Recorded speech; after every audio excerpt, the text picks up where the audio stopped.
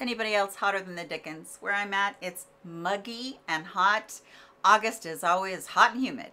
And so we're trying to get through all of that. My hair is falling as I'm speaking to you guys, sticking to me. Usually put it up. I don't know why I'm rambling at the beginning of this video. Hello everyone. Welcome into my list of products that I just was so disappointed in and would not purchase again no matter what and also the fact that I don't like them. I don't want to just leave you hanging. I want to give you substitutions. So I'm going to give you ones that along with those that I have not liked, I really have liked something else that I possibly have gotten quite recently that I want to be bringing to you. So I hope that a topic like this where it's by this not that, here's something that I really didn't like, but here's something that I really do like kind of topic appeals to you. And if you're new to my channel, I want to say welcome to you. And I'm so glad that you're here. And if that kind of content really appeals to you, I hope that you decide to please subscribe as I get tongue-tied. Please, everybody, if you wouldn't mind giving this video a thumbs up. And if you hit the reminder bell, you will be reminded of every video that I have been uploading recently. Thank you for being here with me, all of my regular subscribers. Before we get into the products, I always get asked what I have on, and I'll get asked about the makeup, the lip combo, something, fingernails, rings, something. So all of that will be listed and linked below. Here's a little picture of my shirt that I do have on very true to size it is a slim fit though so you know that cute neckline super soft fabric kind of stretchy really love this top all right without further ado here are the products that i did not like and the products that i am loving besides them from K Secret Collagen Boosting Secret Skin Lotion. This was a sunscreen that I tried and I did not like it. And the hair, there's the hair. Okay, this is the Age Defender. It has hydrolyzed collagen in it. If you watched my skincare videos any time, amount of time, you know that I say the collagen molecule does not penetrate. But a hydrolyzed collagen molecule will not penetrate still for collagen, but what it will do is it will super moisturize your skin. Great hydrator. And this also has a hyaluronic acid complex, so not just sodium hyaluronate, which a lot of people find very drying, but a complex in it. Peptide complex, vitamin A complex, adenosine, and niacinamide. What more could you ask for? Well, we could ask for an SPF of 50 plus. All right, so seeks into the skin incredibly well. However, 10 to 15 minutes after I put this on, my skin feels tight. That was my cell phone. My skin feels tight. It feels dry. And I'm feeling my skin thinking, I've got to go home and put more moisture on my skin. And I was using this for a week, maybe 10 days straight. And I was thinking, oh, it's got all these great ingredients in it. And I, yet my makeup was looking terrible because it was looking, uh, I was looking really dry. And if I didn't use makeup that day, I was thinking, why does my skin feel like it's breaking? It was this. And I finally realized it and I'm like, darn it, because I bought their collagen boosting secret sleeping mask. This one I was using at night and it's the reason that I purchased this one because I thought, hey, again, we have the collagen complex. It was a great hydrator. Panthenol, which is a great hydrator. I cannot talk today, excuse me. Vitamin E capsule vitamin A, adenosine, niacinamide, hyaluronic acid. Wonderful complex for anybody that is wanting to like do a one and done type situation. This one I love to use after I've used all of my toners and I love this on top, but I'll tell you that this sun protection is not working for me. I cannot have that dryness on my skin. If you're somebody that has oily skin though, you might really enjoy this, but this one just not for me. So here's my substitution for it. Heimish Artless Glow Base SPF 50 Korean skincare. I absolutely love this sunscreen. I really, truly think this is an outstanding sunscreen. Very glowy, beautiful product. If you're just wearing your skincare for the day, you're not putting on makeup, it's going to absolutely look beautiful on your skin. You're gonna have that glow at least for four to six hours, which is unheard of for me. Of course, you wanna reapply your, your SPF two hours to three hours. But it really is unheard of for me, even if I'm in the house, to have that glowing, hydrated skin. This one helps to lock everything in and I can highly recommend this as a beautiful SPF that sits gorgeous underneath my makeup helps my make helps my makeup to look plumped up and not dry I have very very dry skin so this is a gorgeous product as far as price goes this is a buy this not that as far as ingredients goes. Now, the one that I'm going to show you in a minute isn't super expensive, but it's more expensive than this.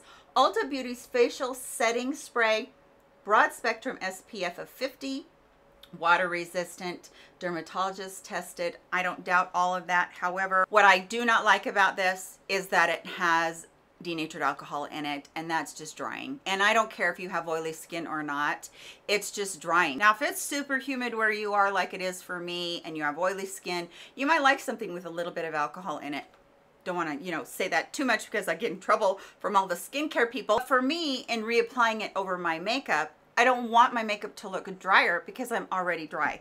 In comes this sample I was sent from Naked Sunday and Naked Sunday is the SPF people. But what they do is sunscreens and they do them well, whether it's a sunscreen that you want that is mineral based or whether it's one that sinks in really well and it has the chemical based or if it's something that you want to wear over top of your makeup like this.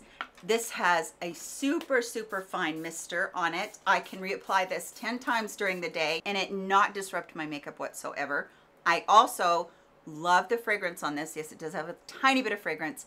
Not one that's going to last or stick around. But if you are sensitive to fragrance, please know that. Also, just the essential thing we need to do throughout the day to reapply our sunscreen for anti-aging. I mean, if you're using all the serums in the world, if you're not using a sunscreen, why? Why are you doing anything? Because we just don't realize what that sun protection does. UVB and UVA rays are so damaging to our skin and it starts way back in childhood and it is a cumulative process. So protecting our skin every day, several times a day, especially if you're out in the sun all day, is so essential. So easy way to reapply. Yes, a little bit more money, but not by much. Urban Decay's All Nighter Hyaluronic dewy setting spray that's actually what the packaging says is that is a hyaluronic watermelon fruit extract long-lasting makeup setting spray I am really not happy with this. The first thing I thought is that it was going to be a dewy setting spray or one that was a hydrating setting spray, but it's not. It's not hydrating at all. And as I looked at the ingredient deck, the third or fourth ingredient is denatured alcohol. Again, I cannot use that on my dry, mature skin. This is a big no-no for me, even though they suck you in with saying it's got hyaluronic acid in it, so it's gonna be really great for your skin and it's not gonna do the same thing as the other product that we know has tons of alcohol in it to save our makeup. Well, yes, it's going to set our makeup all day long, but it's going to be counterintuitive in that it's not going to make our makeup look good. So if you want makeup to last all day, yes, this might be great for you, but at the same time, if you have skin that's super dry, it's not going to be. But I will tell you that I did get and test the Morphe Continuous Mist Prep and Set Mist. And this one is, let me get my glasses, supercharged with ceramides and antioxidants. Now, as I read through this, this does not have any alcohol, denatured alcohol in it. So it's not the drying alcohol. It has a bunch of great ingredients in it that do help keep your makeup in place, but they are derived from other things other than alcohol. So it's not drying. The other thing that is if you have seen the original mist, this is a super fine mist that you can put on your face and it is not going to disrupt your makeup at all. No droplets whatsoever. You could put this on three or four, five times a day and it still make your makeup look beautiful because it doesn't have any alcohol in it. So I'm so glad about that.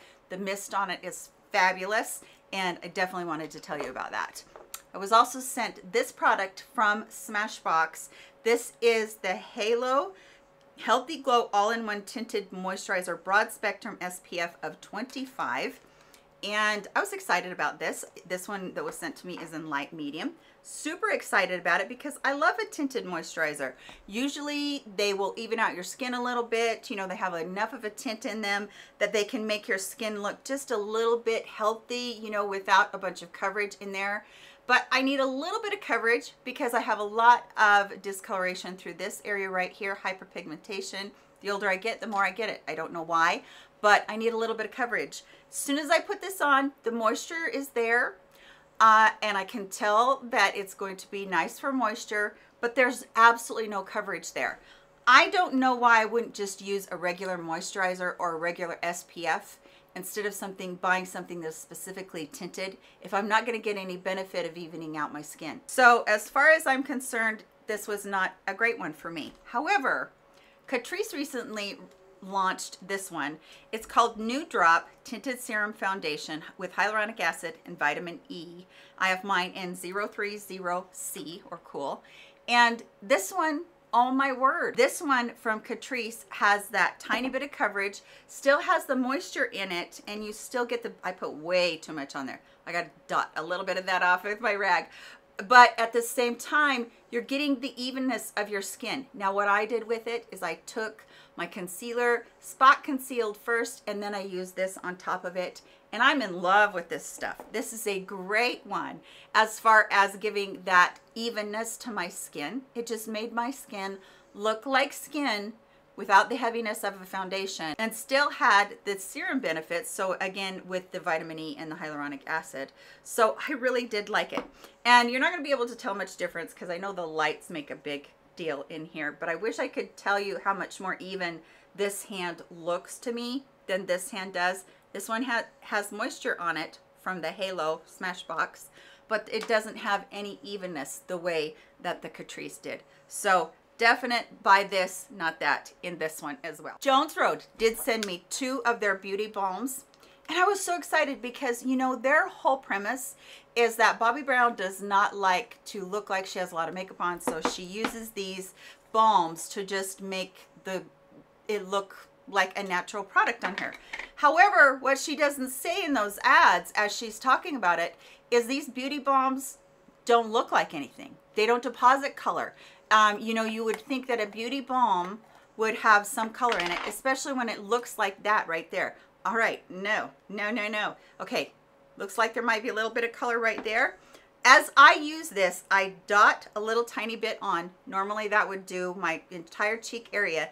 And then I would just, you know, buff it out tiny bit and there would be something there. Nothing there, nothing. This color is worse. And I don't like these at all. Dot a little bit of it on. I put more than I did the last time. Nothing, no color, nothing. Mm -mm. No, if I'm going to take the time to use a beauty balm or use something on my cheeks that I need as a blush, because that's what I consider this to be, I want it to be something that is going to leave some color behind. Not these, they won't do that. I showed you guys last week, maybe the week before, in a products that I love that have stood the test of time type video, these blushes from Moira. After that video, I saw on Moira's website that they had a few more. I went and bought some more colors. I, I wanted to buy like four more colors, but I have three already. This makes six. So I went and I bought these three new colors. Let's just go through them quickly. The lightest color here, these are called the Love Heat Cream Blush. Excuse my shaking. Today I'm having a day, I tell you. This one is called I Assure You. It is the lightest color I have. It's a super light, just kind of a light baby pink color really pretty that would be pretty for a highlight color without having any um, shimmer or anything in it. That would be a pretty look.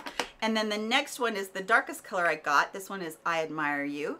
Let me get into that one right there. Swipe that one across there. Now see, when I go down here on these and I'm buffing them in, there's still product there. You can still see that I've got some of the color there. That's what the Bobbi Brown did not do.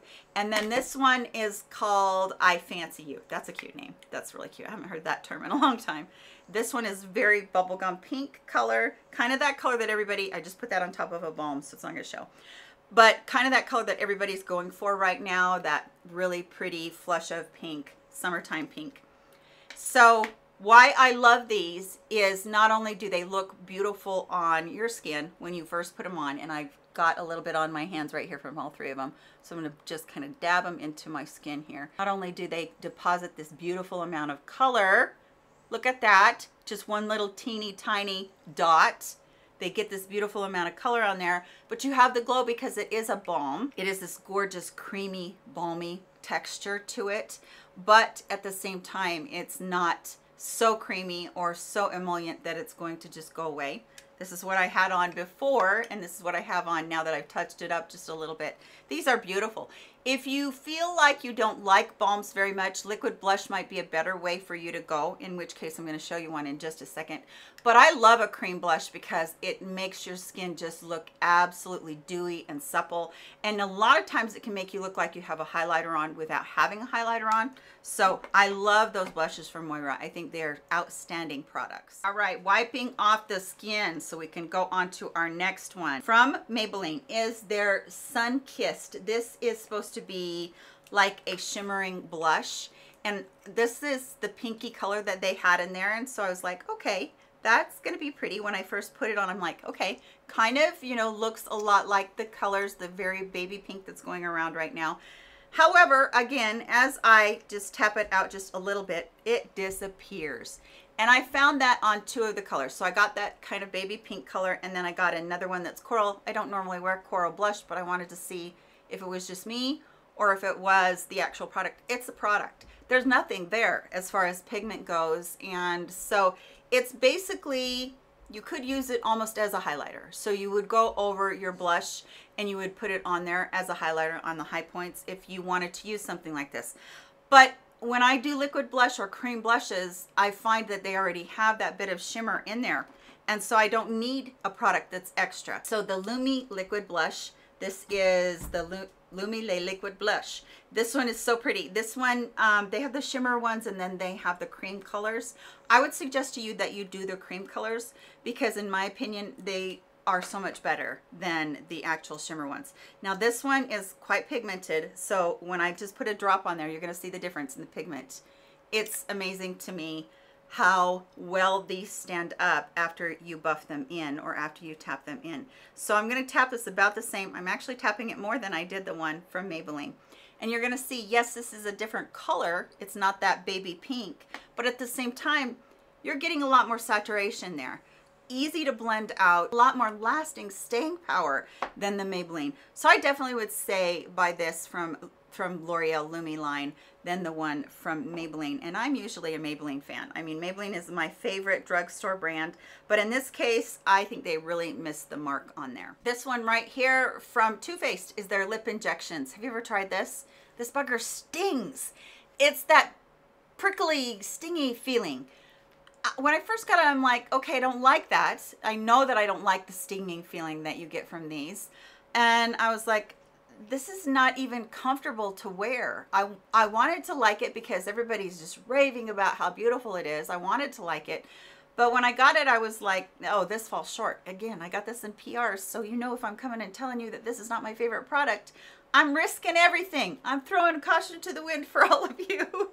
it's not my favorite product. I don't like stinging in my plumping lip glosses. But I will tell you that the Sephora, it's their voluminous lip product but it is the max one or the more heavy duty one than the original one they came out with. This one, it's more of a cooling minting, minty sensation and I definitely need, ooh, I need to touch up, touch up with some powder. Good thing I'm coming up on the next product. This one I love, has that cooling effect, has that little bit of a plumping effect without having the stinging in it. I really like that. Now I will say that if you'd like only the cooling effect of a like Buxom, this is a little bit step above this. So it has a little bit more of that product in there that's going to make you feel like you're getting the little bit of the blood rush to your lips. That's really what these volumizing lip glosses do is get you a lot of blood coming there and your lips do feel a little plumped up because they have more blood to them, which is exactly what they should do. I like this so much better than I like the Too Faced lip, lip injections.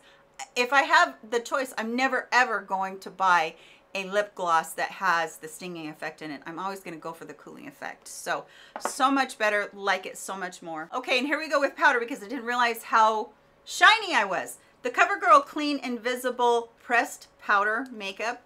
Now, I don't like this because it's too heavy. It just, when I put my finger in here, there's a gritty texture to it. I didn't like it at all. It just, it fell short for me. So I was really kind of very disappointed in it. Super drying. Even a few minutes after I put it on, I felt like it was so dry on my skin. So definitely not for me. However, I do like this Physicians formula. I'm putting on a different pair of glasses. I have two here. Multicolored pressed powder. This one is in translucent. I do like this one very, very much.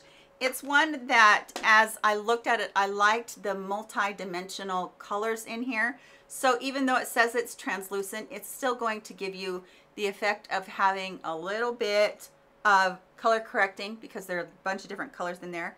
And I love what a pressed powder can do for a mature woman. I love that it can take down the shine, make our skin look perfected without drying us out. And that's what this one does. I also like to have a mineral one. I also like that one too. I'll list that one down below this one because as you know, mineral makeup can be even less drying than just a regular powder like this. So if you're somebody that has uber dry skin, you might like that mineral one even better than this. But Physicians Formula has been doing good makeup for a long time, haven't they? I really do like their line. And sometimes you just find a fantastic one. I love a good pressed powder, and this is just a good pressed powder. Almost done here, everybody. IGK Pick Me Up Maximum Lift Root Boost Spray.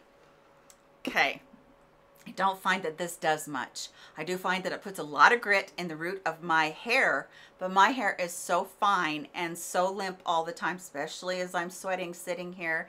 Uh, it's not that hot, but I'm sweating underneath these lights, so it really does fall short for me. However, from Color Wow, and forgive me, I lost the top, both tops. This is the Raise the Root Thicken and Lift Spray. All right, I've told you about this before, but I'm going to say it again. I think that this is probably the best root lifter on the market. It's a little, it has a little bit of a learning curve to it. And that learning curve is what kind of tripped me up. In the beginning, I was, this is one of the products that was like, I don't like this, let's buy something else.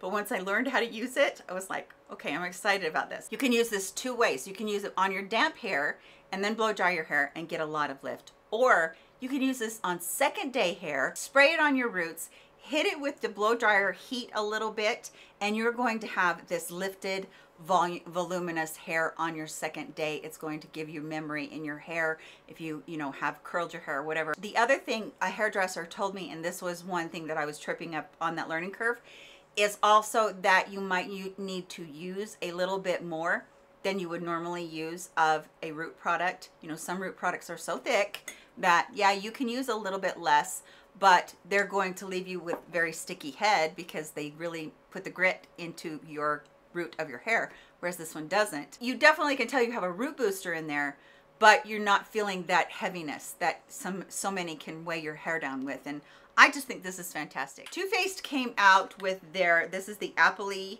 in Love palette. This you open up, you get that cinnamon apple fragrance from. This is just like their old palettes were, the chocolate palettes, the peach, going back to the peach palette just like those with the fragrance on them. And I kind of think that's nostalgic for a lot of us because when we started into this whole big journey of YouTube and the influence that we get from these different ones that they really loved that and it was a great aesthetic. But I think that we need to look at the overall theme of the palette and we need to think, am I going to wear those colors? For me, as an influencer, I was so excited to get this and then I realized after I got it home, I can only wear maybe four colors in here because even the colors that I thought I could wear, like perhaps that that was a neutral, that is so orange. That's like an orange, orange brown, not just a little bit. Okay, I can buff that in and make it work. It just didn't work. And then some of these other ones that I thought were going to be reds, they're rust. And so I like the consistency. They've still kept their consistency in here. Their shimmers are nice. There's a couple that are more along the lines of, you know, little topper type thing in here where you're not getting as great of a shimmer as you might have from the older one, formulas.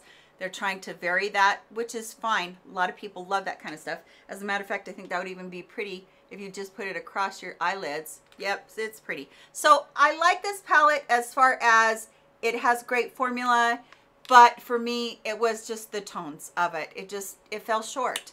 And even though I love the thought of having this in my collection to compare it for you guys, I think that if you're looking for something that is going to be everyday use and you're more cooler toned, you might want to look into these. These are new from, from Revolution Beauty. These are the 12 pan palettes. but I'll tell you why I'm pretty darned excited about these. Do you remember when Makeup Revolution first came out and they had this beautiful formula and then they changed the formula? I think that they're back to having a pretty formula. I am super surprised. I am super surprised at how much I like this formula. I am super surprised at how much I'm enjoying their matte formula. Not patchy, smooth, easy to blend. I've come out with a super great color story in these as well. And then down here on the end, they've also come in each of these palettes with the cream as well. And these little sticky things on here are kind of worthless because they're going to fall off. But What's great about the creams that they have put in here, they're pretty darn saturated as well. So I think that they have come across having really pretty substitutions for these high-end palettes. And guess what? If you bought all three of the color stories, you would still be almost half of the price of the Appley palette. So I showed you a little bit of the color story in that one. Let me show you the other two color stories on there. This one is probably the warmest color story of all of them, but it does have these kind of golden greens in there, which are beautiful as well. And I'll just swatch that one for you. Look how pretty. Just a really beautiful, shimmery, kind of duochrome gold with green in there. And then this one right here is another, I was really surprised. This is another very, very creamy one. Um, this is a coppery color. Um, I think that is so beautiful. This one reminds me of a Huda Beauty palette. It's got all these different textures in it. Then you're getting just gorgeous mattes and yeah, I really think that this is an exceptional color story and I really do love the new formula that they've put in here. And again, you get two creams on here. This one right here, this one looks like a chocolate and a cream. I'm not gonna take off that plastic on there, but know that they are very saturated like these ones are. And then you have the color story of the pinks and the purples in this one and you're getting right here you're getting a duochrome color as well I love it when they put those duochrome colors in there and they look just so beautiful on your eyes I just think they're so pretty let's see if I can get a really good swatch of this one because I want to show you how beautiful that duochrome is so nice the shimmers in here are bold and beautiful there is one topper in here I can use this one that's pink as a topper. And then again, down here, we've got some beautiful neutral on the cream. You've got a very um, beigey cream color down here. And then you've got a very kind of warm chocolatey, actually it's not really on the warm side. It's more on the side of being neutral. So it's not too gold and it's not too gray. It's that really beautiful sweet spot in between. Let me just clean my fingers and I'll swatch for you. I really want you to see how nice they did. I almost dropped it how nice they did a job on these creams. They did a really good job on them. I like them. They're very creamy. So you could use that as an eyeshadow base and then you could use it as your liner and then you probably would have to go over it because they are quite emollient. I would think that they're more along the lines of an eyeshadow base or a cream eyeshadow that you would just kind of touch up with just a little bit. They're so pretty and I just can't get over that they finally went back to a formula that we're all going to love again. I'm hoping that all of their palettes from here on in have this formula in them again. I'm so glad that you spent this time with me. I know that you all have brought, bought products in the past that you just look at and you go, oh my gosh, I can't believe I bought that. So I hope that I help you to avoid some of the products that I bought. I really am kind of going, eh, I wish I hadn't done that.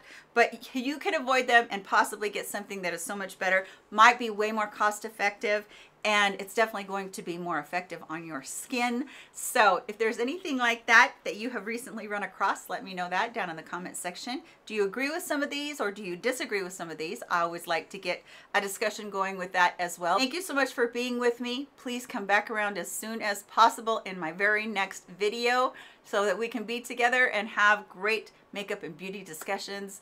Love you all so very much. Take care of yourselves. See you soon. Bye, my friends.